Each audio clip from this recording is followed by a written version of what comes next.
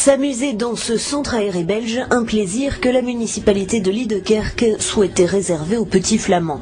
L'établissement stipulait dans son règlement que les enfants qui parlent peu ou mal le néerlandais ne seraient pas admis pour les vacances de Pâques. Les élus chrétiens démocrates de Liedekerk, localité flamande située à 20 km de Bruxelles, justifient une décision qui a depuis été sanctionnée par le gouvernement régional. Lorsqu'un enfant ne parle pas néerlandais, c'est un problème, c'est même dangereux, c'est une question de sécurité. Nous sommes responsables de ces enfants, nous devons pouvoir communiquer avec eux à n'importe quel moment. Qu'en pensent les principaux intéressés? La petite Alicia n'est pas tentée à l'idée de pouvoir parler français ici. Pas vraiment, non.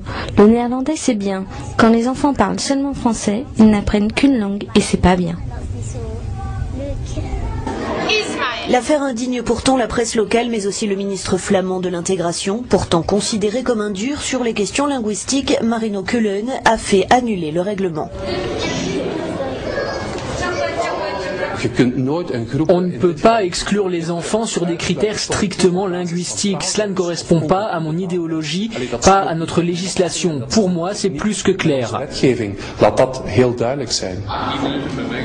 Le règlement n'est certes plus appliqué, mais l'affaire illustre une nouvelle fois les tensions qui divisent la Belgique entre Wallons et Flamands.